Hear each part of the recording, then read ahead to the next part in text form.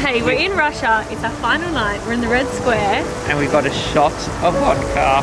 And I feel like this building has been on our bucket list for the longest time. We have never come to a country where the metro system is basically its own attraction in itself. Good morning everybody and welcome back to Russia. We've just spent an incredible nine days exploring this country with on-the-go tours. We've taken you to St. Petersburg, to Novgorod, we've taken you to Russian spas, overnight trains and bunkers and today it's our final day here in Moscow and we've decided to start it in probably the most iconic spot here in Russia, the Red Square.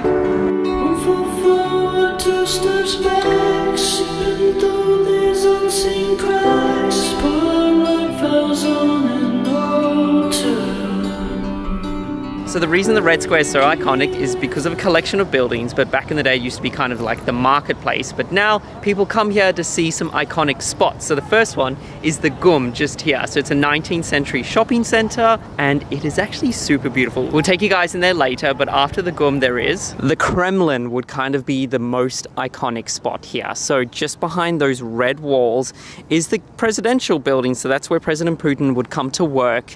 And inside you can actually go and do a tour of the Kremlin Kremlin, which is what we'll do later today. So the next one is the State Historical Museum and it really stands out because of the bright red brick that they've built it with. So the second last one is the Mausoleum for Lenin. At certain times of the week and certain times of the day you can go inside and see his crypt but he was kind of like the grandfather of communism. And now we are walking over to the final corner of the Red Square and I feel like this building has been on our bucket list for the longest time. This is such the postcard shot of Russia. Like whenever I think of Russia, I think of this cathedral and it kind of feels surreal actually being here in front of it. It is definitely the most colorful church we've ever seen. It's called St. Basil's Cathedral. It is right here in the Red Square. Absolutely stunning. Oh my gosh, inside the GUM looks so nice. But just next to the Red Square, there is this pedestrian walkway. It's lined with a lot of shops, a lot of cafes. We're looking for a place for breakfast. This street is a kilometer long, so um, I think we're gonna have a lot of choice. I feel like we need another babushka. For us? Well, I want to get one for Hugo. Actually, that would be pretty fun. Wait, what one? I think we need to do it. There's so many to choose from. Alrighty, we decided to come into the GUM and this department store actually opened in 1893. So it is so old, full of history, and it kind of feels like we're walking through a very grand greenhouse. I don't think there's anything we can get here. It's like very expensive designer shops, but I think it's just kind of cool to just walk around and just just look at it, just take it all in. It's really nice. So during the Soviet times in Russia, canteen style food courts were super popular because they were quick, they were cheap. You just line up, grab your food, eat and go. And here in the GUM, they've actually set up a canteen that's in the style of back in the day. However, of course, there's a lot more modern food. We're having sushi, fresh salads. So we've come out to come and experience one and it kind of looks like a feast that we've ordered. I think this is actually one of the most popular canteen style restaurants here in Moscow. So when I saw it here, I was like, okay, let's go. And we've got so much food. Yes, you can tell we're hungry. that meal was so good. I am glad that we came when we did because this place really is a popular spot. Look at it. That whole meal was about $15 each, so 30 bucks in total, which has actually been one of our most expensive meals here in Russia, which shows how cheap the food usually is. But it is expected when you're in a shopping center with Gucci and Prada and Jimmy Choo and, and all these designer shops.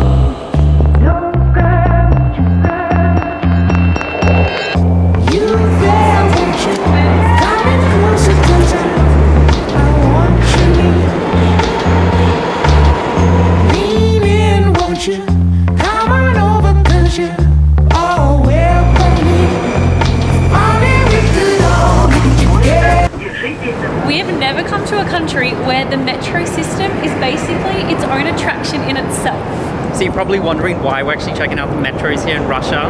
They're not the oldest in the world, that's London. They're not the biggest, that's Shanghai. Russia has the grandest metros in all of the world. So there's over 200 metros here in Moscow alone and they're all designed to be different. The one we've stopped off at is designed like the old Paris metro stations.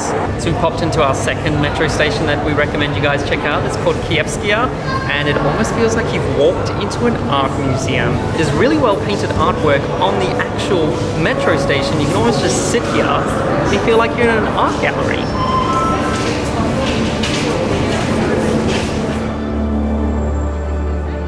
So here in the Moscow metro system, over 9 million people use it every single day. Wow. So up until a few years ago, I don't think you were allowed to film in the metro systems, but definitely come a long way because they even have little photo spots telling you where the beautiful spots are to take your shots. So if you do want to come down and check out the metros or even actually use them as they're supposed to be, which are metros, it is actually only a dollar to get a ticket and they don't have zones. So you can buy that ticket. We've literally gone to I think five stations now and it's only cost us a dollar because there's no zones. So you only have to pay for a new one once you actually leave the metro and then enter again.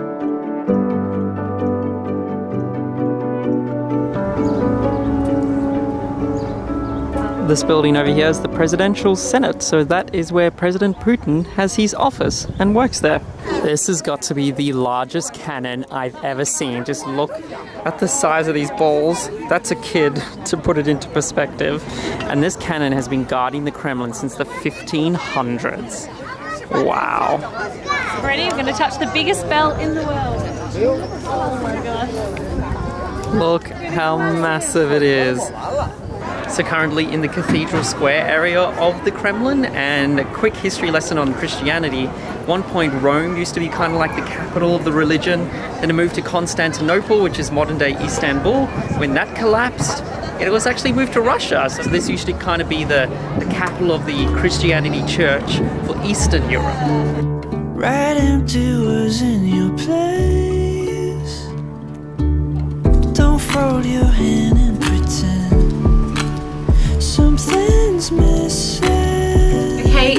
officially our final night here in Russia, and we have heard that Moscow is amazing at night. So On The Go Tours actually does a tour called Moscow by Night, and we're going to be jumping on a bus, and I've heard that vodka and pickles are involved.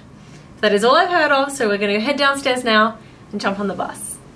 Guys, everyone was right. Moscow looks completely different at night. We've come straight back to the Red Square, and we've all been given a little shot of vodka.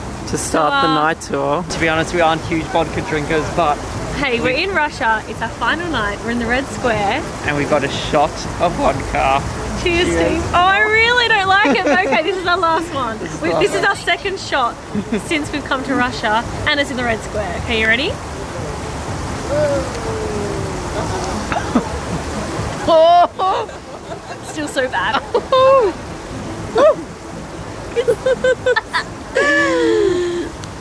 oh my gosh, it looks like we're being so dramatic, but Vodka.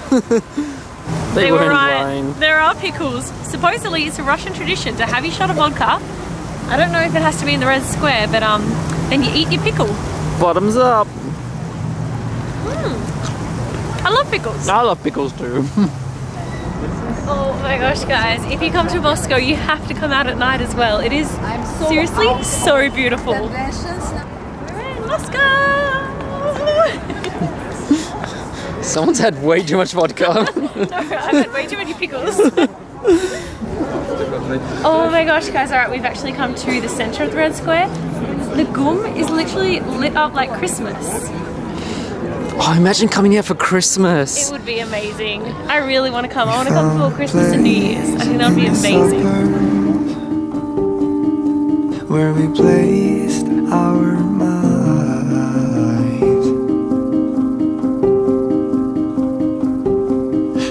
try and turn all the switches on. If you need to shed a light on all the uncertainties. That went way too fast. That went so quick. I can't believe that trip is already over. We are now back at the airport and we Moscow were, airport this time. We actually jumped on Skyscan and we said, what's the cheapest country we can go to after Russia? Alrighty everybody, welcome to Nice, welcome to the south of France. Whoa, I haven't had a creep in ages. Guys, you can't go to France without hiring a convertible and uh, we have found the ultimate convertible. the blue car we wish we had. the blue, the blue car they wish they had.